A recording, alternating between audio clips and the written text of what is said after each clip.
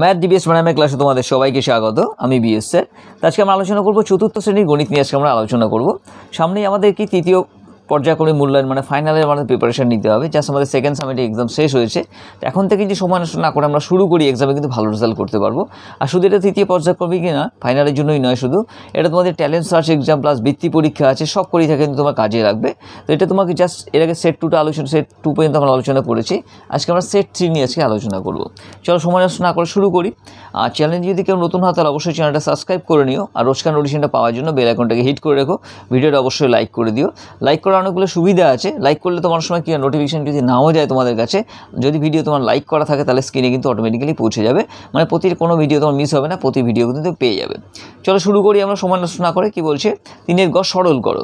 উনিশ বিয়োগ second bracket নয় যোগ দুই গুণ তোমার ব্রেকার ব্র্যাকেটে ফার্স্ট ব্র্যাকেট আট বিয়োগ তিন first bracket close second bracket close কীভাবে করব? তোমরা নিজেরাই পারবে। জাস্ট আমি তোকে হেল্প করছি। তাহলে কি উনিশ বিয়োগ তোমার হচ্ছে? তোমার ওকে প্রথমে কী করব? আমার, এটা আমাদের ফর্মুলা অনুযায়ী বদমাসের ফর্মুলা অনুযায়ী আমরা কী করব? প্রথম ব্র্যাকেটের কাজ ফার্স্ট ব্র্যাকেটের কাজ করব। তাহলে যে বাকি যা আছে আমরা তাই লিখে দেবো। উনিশ বিয়োগ তোমার সেকেন্ড ব্র্যাকেট আমরা দিলাম। নয় যোগ তোমার দুই গুণ। তাহলে কি আটের থেকে তিনকে যদি আমরা বিয়োগ করি, তাহলে কত হচ্ছে? তিনের আটের তিনের পরে চার, পাঁচ, ছয়, সাত, আট মানে পাঁচ ঘর হচ্ছে। তাহলে পাঁচ লিখব আমরা।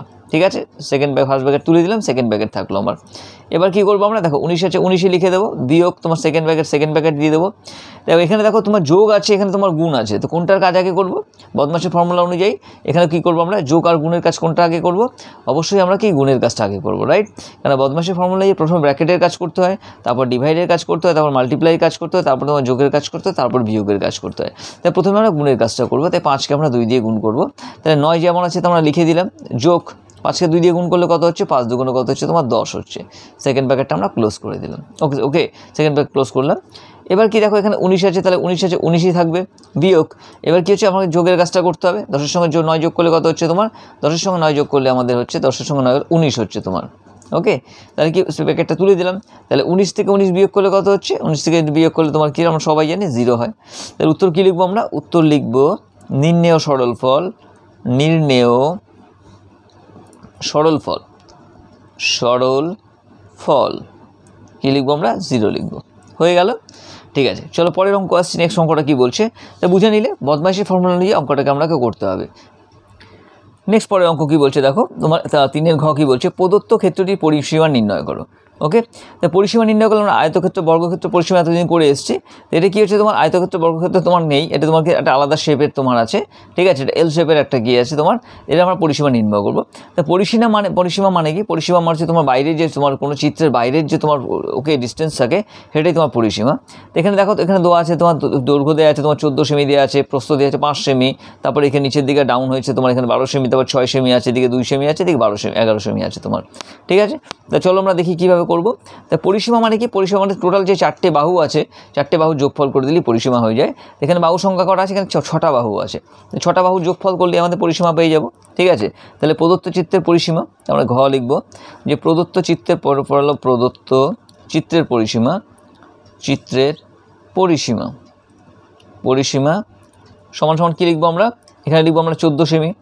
চোদ্দ যোগ, এখানে কত হচ্ছে? পাঁচ আছে। তাহলে পাঁচ লিখব। যোগ তোমার এখানে কত আছে? বারো আছে। তাহলে কী লিখব? বারো লিখব। যোগ এখানে ছয় আছে, তাহলে ছয় লিখব আমরা। যোগ এখানে দুই আছে, তাহলে দুই লিখব আমরা। আর নিচে কত আছে? তোমার এগারো আছে, তাহলে এগারো লিখব আমরা। ঠিক আছে? তো সমস্ত এগুলোকে যোগ করে দিলেই আমরা কিন্তু পরিসীমাটা পেয়ে যাব। তো চলো পরিসীমাটা আমরা যোগ করি, দেখি আমরা। ছোটো ছোটো করে যোগটা করি। চোদ্দোর পাশে কত তোমার উনিশ। তাহলে উনিশ লিখলাম আমরা। ঠিক আছে? এখানে কত? বারো আছে, ছয় আছে। বারো ছয় কত হচ্ছে? আঠেরো। আঠেরো দুই কত হচ্ছে? তোমার কুড়ি। বারো ছয়, আঠেরো। আঠেরো দুই কত? কুড়ি। তাহলে কুড়ি লিখলাম আমরা। যোগ, এখানে এগারো আছে, তাহলে এগারো, এগারোই লিখে দিলাম। এবার কী হচ্ছে দেখো, উনিশ আছে, উনিশের সঙ্গে আমরা এগারো যদি যোগ করি, তাহলে কত হচ্ছে তোমার রাইট উনিশের সঙ্গে এগারো যোগ করলে তোমার কত হচ্ছে, উনিশ এক এক কুড়ি ওরা তিরিশ তিরিশ আর কুড়ি করলে পঞ্চাশ হয়ে যাচ্ছে। তোমরা চাইলে রাফে যোগ করে নেবে, পঞ্চাশ মিটার, কী হবে? মিটার না সেমি এটা কী আছে? সেন্টিমিটার আছে, তাহলে সেমিই হবে সেন্টিমিটার সেমিই হবে তোমার, তাহলে পঞ্চাশ সেমি ঠিক আছে? তা কী লিখব আমরা? উত্তর লিখব আমরা, ঠিক আছে? প্রদত্ত চিত্রের পরিসীমা, প্রদত্ত চিত্রের পরিসীমা চিত্রের পরিসীমা। পরিসীমা কত? পঞ্চাশ সেমি। ঠিক আছে, প্রদত্ত চিত্রের পরিসীমা পঞ্চাশ সেমি। হয়ে গেল, ঠিক আছে? তো এই ধরনের অঙ্কগুলো দিলে তুমি কি করবে? এই ধরনের অঙ্কগুলো দিলে প্রতিটা যে তোমার আছে তোমার রাইট সাইডগুলো কি করতে হবে তোমাকে? সাইডগুলো তোমাকে যোগ করে দিলেই পরিসীমাটা বেরিয়ে আসবে। হয়ে গেল, চলো, পরের অঙ্ক আসছি নেক্সট অঙ্ক কী বলছে? নেক্সট পরে অঙ্কটা কী বলছে দেখো? উমাও কী বলছে? একটি ফাঁকা পাঁচ লিটার জল রাখার জারে দুই লিটার দুশো পঞ্চাশ মিলিলিটার ঠান্ডা জল এবং এক লিটার আটশো মিলিলিটার গরম জল রাখা হলো। ওই জল রাখার জারটি ভর্তি করতে আরও কত জল ঢালতে হবে তা নির্ণয় করো। ঠিক আছে? তাহলে কি বলছে? পাঁচ লিটার একটা ড্রাম আছে। পাঁচ লিটার ড্রামে একটা ড্রামে পাঁচ লিটার জল ধরে। তার মধ্যে দু লিটার আর দুশো পঞ্চাশ মিলিলিটার কি ঠান্ডা জল ঢালা হয়েছে আর এক লিটার দু আটশো তোমার মিলিলিটার কিছু গরম জল ঢালা হয়েছে। ঠিক আছে? এবার বলছে তোমার এখানে ওই জলে আর কত জল ঢালতে হবে? মানে ঢাললে ড্রামটা সম্পূর্ণ ভর্তি হবে সেটাই জানতে চাইছে। তো প্রথমে কী আছে? আমরা দেখে নিচ্ছি কতটা জল ঢালা হয়েছে। দুটো দেখে নিচ্ছি আমরা।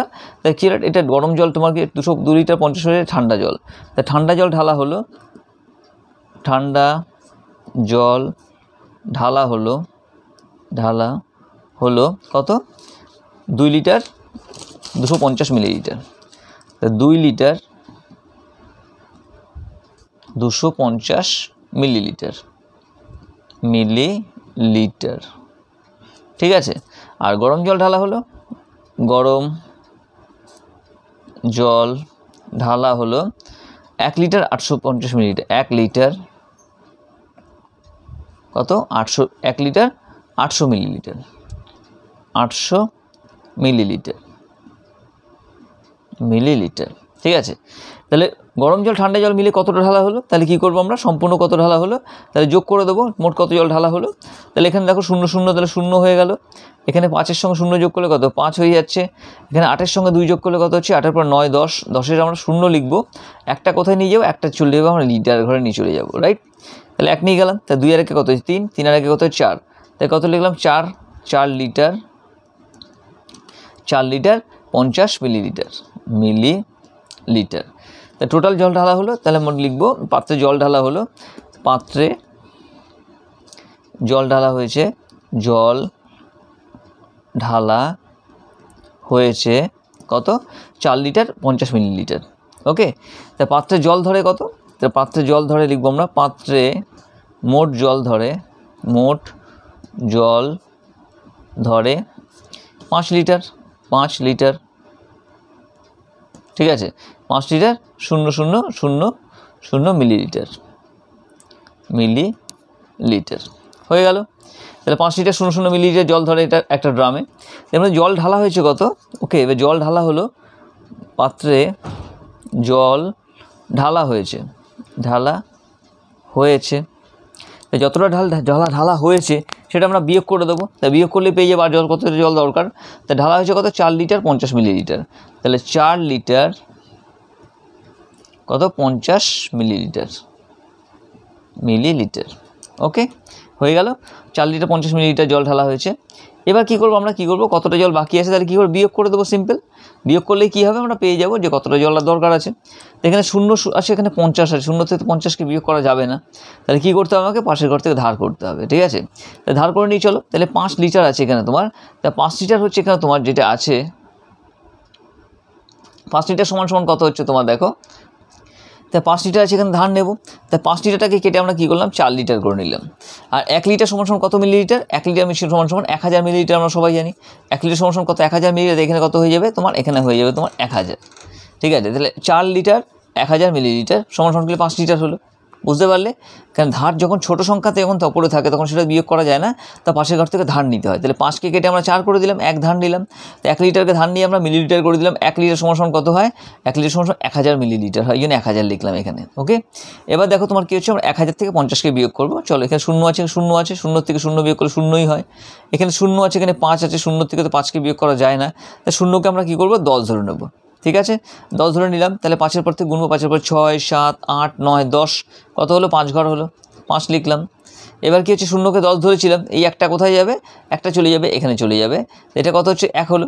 তাহলে একের থেকে কী হচ্ছে? ওকে একে, এখানে এক এখানে কিছু নেই মানে এক ধরে নিলাম মনে মনে। এবার একের থেকে শূন্যর থেকে এককে বিয়োগ করতে হবে। শূন্য থেকে তো এক বিয়োগ করা যাবে না। তাহলে শূন্যকে আপাকে দশ ধরতে হবে। তাহলে পাশের ঘরে এক নিয়ে নিলাম, দশ ধরে নিলাম। তাহলে কী করব? একের পর থেকে আমরা দশ পর্যন্ত গুনবো। একের পরে দুই, তিন, চার, পাঁচ, ছয়, সাত, আট, নয়, দশ। কত হলো? নয় ঘর হলো। তা কী লিখব আমরা? নয় লিখব এখানে, রাইট? তা নশো পঞ্চাশ কী হলো? এটা মিলিলিটার। দেখতে পাচ্ছ? নশো পঞ্চাশ মিলি লিটার ওকে, এখানে উপরে দেখো চার আছে, এখানে চার আছে, চার চারে মিলে গেলে শূন্য মানে শূন্য লিটার। তাই শূন্য লিটার লেখার দরকার নেই, তাহলে কি হলো? তাহলে কত হচ্ছে? নশো পঞ্চাশ মিলিলিটার। তো উত্তরটা কি লিখব আমরা? এখনও পাত্রে উত্তর লিখব আমরা। ঠিক আছে? পাত্রে আরও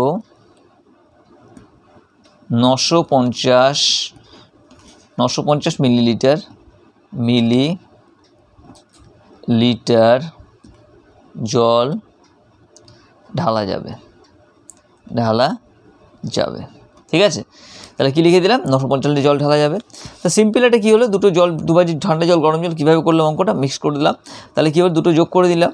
এবার পাত্রের ক্যাপাসিটি কত? পাঁচ লিটার আছে। পাঁচ লিটার থেকে আমরা কী করি যতটা জল ঢালা হয়েছে, চার লিটার, পঞ্চাশ মিলিলিটার জল ঢালা হয়েছে। তো বিয়োগ করে দিলাম। বিয়োগ করলে আমরা নশো পঞ্চাশ মিলিলিটার জল পেয়ে গেলাম। ওকে তো এটা উত্তর হয়ে গেল।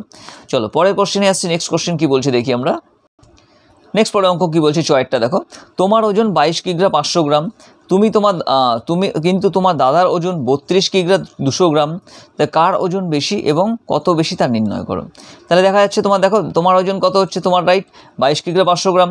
দাদার ওজন কত হচ্ছে? বত্রিশ কিগ্রা দুশো গ্রাম। তা দেখেই বোঝা যাচ্ছে দাদার ওজন বেশি। তাই কতটা বেশি তাহলে কি দাদার ওজনটা আমরা লিখে নিই আগে। ঠিক আছে? এখানে লিখব এটা চ। চয়েরটা দাদার ওজন, প্রথমে লিখব দাদার ওজন কত হচ্ছে তোমার? দাদার ওজন বত্রিশ কিগ্রা। বত্রিশ কিগ্রা। আর কত? দুশো গ্রাম। দুশো গ্রাম। ঠিক আছে? এবার দাদার ওজন, এবার আমার ওজন বলছি, এবার আমার ওজন। আমার ওজন কত আছে? বাইশ কিগ্রা। বাইশ কিগ্রা। কত গ্রাম? বাইশ কিগ্রা পাঁচশো গ্রাম। পাঁচশো শূন্য গ্রাম। ঠিক আছে? তাই কার ওজন বেশি? তাহলে করতে গেলে কী করতে তোমরা নিজেরাই বুঝতে পারছ। এটা সিম্পল বিয়োগ করে দিলেই হয়ে যাবে। দাদার ওজন থেকে তুমি যে নিজের ওজনটা বিয়োগ করে দাও তাহলে কী হবে? দাদা তোমার থেকে কত বেশি ভারী, তাহলে সেটাই বোঝা যাবে। কার ওজন কত নির্ণয় হবে সেটা, কার ওজন বেশি সেটাই বোঝা যাবে তোমার। ঠিক আছে? তাহলে কী চলো বিয়োগটা করি। এখানে দুশো আছে, এখানে পাঁচশো আছে। তাহলে দুশোর থেকে তো পাঁচশো বিয়োগ করা যাবে না। তাহলে কী করতে হবে আমাদের? দুশো থেকে পাঁচশো বিয়োগ করতে গেলে করা যাবে না। সে তো কী করে পাশের ঘর থেকে আমরা ধার নিয়ে নেব। তাহলে এখানে কত? বত্রিশ আছে। বত্রিশকে আমরা কী করে নিলাম? একত্রিশ করে নিলাম। তো এক কিগ্রা নিয়ে নিলাম। তো এক কিগ্রা সমান সমান কত আছে? আমরা জানি সবাই এক কিগ্রা সমান সমান এক হাজার গ্রাম। এক হাজার গ্রামে এক কিগ্রা হয়। তাহলে কী করলাম? এখানে এক হাজার যোগ করে দিলাম। ঠিক আছে? যোগ করে দিলাম। এক হাজার কত হলে? দুশো হয়ে গেল একসঙ্গে তোমার। এটা এক হাজার দুশো গ্রাম হয়ে গেল। এবার এক হাজার দুশো গ্রাম থেকে আমরা কী করব? পাঁচশো গ্রামকে বিয়োগ করব। ঠিক আছে? চলো করে দিই আচ্ছা এখানে ছোট্ট করে এখন এক হাজার দুশো গ্রামটা লিখে দিই। তাহলে আমাদের সুবিধা হবে আমাদের অঙ্কটা করতে। ঠিক আছে? এক হাজার দুশো গ্রামটা লিখে দিলাম। তাহলে এই দুটোকে যোগ করলে কত? এক হাজার দুশো গ্রাম হয়। এবার চলো বিয়োগ করব আমরা। এখানে শূন্য এখানে শূন্য শূন্য থেকে শূন্য বিয়োগ করে শূন্য হয়। এরপরে শূন্য, এখানে শূন্য শূন্য থেকে শূন্য বিয়োগ করে শূন্য হয়। এবার এখানে কত আছে? দুই আছে, এখানে পাঁচ আছে। তাই দুইয়ের থেকে তো পাঁচকে বিয়োগ করা যাবে না। তাই পাঁচশো ঘরটা আমরা ধার নিয়ে নিচ্ছি। পাঁচশো ঘর থেকে এক ধার নিলাম তাই হয়ে গেল বারো। তাহলে পাঁচের থেকে আমরা বারোকে বিয়োগ করব বারো থেকে আমরা পাঁচকে বিয়োগ করব, তাহলে পাঁচের পরে ছয়, সাত, আট, নয়, দশ, এগারো, বারো, কত ঘর হচ্ছে? সাত ঘর হচ্ছে। তাহলে কী লিখলাম আমরা? সাতশো। সাতশো গ্রাম হয়ে গেল। ঠিক আছে, সাতশো, এটা হবে তোমার গ্রাম। বোঝা গেল? সাতশো গ্রাম হলো। আচ্ছা চলো এখানে এবার তোমার কী হচ্ছে? তোমরা বিয়োগ করব কিগ্রাটাকে বিয়োগ করব। এখানে কত? দেখো, এক আছে, এখানে দুই আছে। তো একের থেকে দুইকে তো বিয়োগ করা যাবে না। তাই পাশের ঘর থেকে ধান নেব। তাহলে কী করলাম? তিনকে কেটে দুই করে দিলাম। আর এককে কত? এগারো করে ফেললাম আমরা। ঠিক আছে? ওকে? তাহলে কী এগারো। তো দুইয়ের থেকে তোমার কী হচ্ছে? এগারোকে বিয়োগ করব। তো দুইয়ের থেকে এগারোকে বিয়োগ করলে কত হচ্ছে? তোমার এগারো থেকে দুই বিয়োগ করলে দুইয়ের পর তিন, চার, পাঁচ, ছয়, সাত, আট, নয়, দশ, এগারো। ক ঘর হচ্ছে? তোমার নয় ঘর হচ্ছে। তাহলে নয় লিখলাম। ঠিক আছে? এবার কী হচ্ছে তোমার দেখো, এখানে নয় হয়ে গেল। এবার পাশের ঘরে কী হচ্ছে, তোমার দুই আছে ওপরে দুই আছে, নিচেও দুই আছে, দুই দুই মিলে শূন্য। শূন্য লেখার দরকার নেই। তাহলে কী লিখব? নয় কিগ্রা নয় কিগ্রা সাতশো গ্রাম। ঠিক আছে? তাহলে কী হলো? ন কিগ্রা উত্তর কত পেলাম? ন কিগ্রা সাতশো গ্রাম পেলাম। তাহলে জানতে কি চাইছিল? কার ওজন বেশি এবং কত বেশি তার নির্ণয় করো রাইট তাহলে লিখব, উত্তর কী লিখব আমরা? উত্তর লিখব, আমার দাদার ওজন বেশি, আমার দাদার ওজন ওজন আমার চেয়ে, আমার ওজনের চেয়ে ওজনের চেয়ে নয় কিগ্রা নয় কিগ্রা সাতশো গ্রাম বেশি, সাতশো গ্রাম বেশি। ঠিক আছে, বোঝা গেল? এভাবে অঙ্কটা করলেই হয়ে যাবে। ওকে, তো নেক্সট হলো আমরা দেখি কি বলছে। নেক্সট পরে অঙ্কে আসছি আমরা। রাইট ছয়েরটা কী বলছে দেখো? তোমার তিন চারের ছয়। ছয়েরটা বলছে তোমার যোগ করো। যোগ করো, এটা মিটার সেন্টিমিটার পনেরো মিটার ছিয়াশি সেন্টিমিটার যদি আসলে যোগ করতে হবে দুশো ছত্রিশ মিটার, উনষাট সেন্টিমিটার, তার সঙ্গে যোগ করতে হবে একশো আট মিটার, তোমার পনেরো সেন্টিমিটার। তো যোগটা করে দেখি, চলো সবটা আমি খাতায় লিখে নিয়েছি। তাহলে দেখো এখানে কী করে যোগটা করব, সিম্পল। ছয় আছে, নয় আছে, ছয়ের সঙ্গে নয়কে যোগ করব। নয় আর ছয় কত হচ্ছে? নয়ের পরে দশ, এগারো, বারো, তেরো, চোদ্দ, পনেরো। তাই পনেরো হলো। পনেরোর সঙ্গে পাঁচকে আমরা যোগ করব। পনেরোর পরে ষোলো, সতেরো, আঠেরো, উনিশ, কুড়ি। তাহলে কুড়ির কত হবে? কুড়ি তোমার শূন্য হবে। হাতে আমার কত হচ্ছে দুই থাকছে, দুইটা আমরা এখানে লিখব, দুই লিখলাম আমরা। তা আটের সঙ্গে দুই যোগ করলে কত হচ্ছে? আটের সঙ্গে দুই যোগ করলে তোমার দশ আটা দুই দশ হয়। দশের সঙ্গে পাঁচ যোগ করলে কত? দশ আর পাঁচ পনেরো। পনেরোর সঙ্গে এক যোগ করলে কত হচ্ছে? পনেরো পাঁচ ষোলো হয়। তা ষোলোর আমরা ছয় লিখব। এক কথায় থাকবে আমাদের একটা কী করব? পাশের ঘরে মিটার নিয়ে চলে যাব। এখানে লিখে দেবো আমরা। ঠিক আছে? নাহলে কী হবে? এখানে তোমার মিটার থেকে আবার সেন্টিমিটার থেকে আবার মিটার নিয়ে যেতে হবে। তো ডাইরেক্ট আমরা কী করব? এখানে নিয়ে চলে যাব। নিয়ে গেলাম। তাহলে পাঁচ আর একে কত হচ্ছে? ছয়। ছয়ের সঙ্গে ছয় যোগ করলে কত হয়? ছয়ের পরে সাত, আট, নয়, দশ, এগারো, বারো, ছয় ছয়, বারো হয়। বারো আটে কত হচ্ছে? তো বারো আটে কুড়ি। কুড়ির কত লিখব আমরা? কুড়ির শূন্য লিখব। হাতে আমাদের দুই থাকছে, দুইটা কোথায় লিখব? দুইটা এখানে লিখব দশকের ঘরে। ঠিক আছে? এখানে দুই আছে, এখানে এক আছে, দুই আর একে কত হচ্ছে? তিন। তিন এখানে তিন আর তিনে কত হচ্ছে? তোমার ছয়। ছয়ের সঙ্গে এখানে শূন্য যোগ আছে, তোমার ছয়ের সঙ্গে শূন্য যোগ করলে কত হচ্ছে? তোমার ছয়। ছয়ই থাকবে তোমার। ঠিক আছে? এবার হলো কি তোমার এখানে দুই আছে, এখানে এক আছে। হাতে কিছু নেই আমাদের উপরে। দুই আর একে কত হচ্ছে তোমার? দুই আর একে হচ্ছে তিন। তাহলে কী লিখলাম আমরা? তিন। তাহলে তিনশো ষাট কী হলো তোমার? এটা তিনশো ষাট মিটার হলো। মিটার। আর কত হচ্ছে? ষাট কী হলো তোমার? ষাট সেন্টিমিটার মানে সেমি মানে সেন্টিমিটার হলো। ওকে তাই উত্তর কী লিখব আমরা? উত্তর লিখব আমরা, নির্ণেয় যোগফল, নির্ণেয় নির্ণেয় যোগফল, কত হচ্ছে তোমার? তিনশো ষাট মিটার আর ষাট সেন্টিমিটার, ষাট সেমি সেমি মানে সেন্টিমিটার হয় তোমার। ঠিক আছে? হয়ে গেল। তো আজকের জন্য এই পর্যন্তই। তো আজকে এগুলো ভালো করে প্র্যাকটিস করো। আর ভিডিওটা অবশ্যই লাইক করো নোটিফিকেশনটা অন রেখো। নেক্সট পার্ট কিন্তু পার্ট ফোর আমি কিন্তু শীঘ্রই আপলোড দিয়ে দেবো। কাল পরশুর মধ্যে আপলোড দিয়ে দেবো। আজকের জন্য এই পর্যন্ত। এগুলো ভালো করে প্র্যাকটিস করো। ট্যালেন্ট সার্চ এক্সামে লাগবে তোমার, বৃত্তি পরীক্ষাতেও লাগবে। প্লাস ফাইনাল জন্য অবশ্যই লাগবে আমাদের। ঠিক আছে? তো আজকের জন্য এই পর্যন্ত। ভিডিওটা লাইক করো। নেক্সট ভিডিওতে আবার দেখা হবে।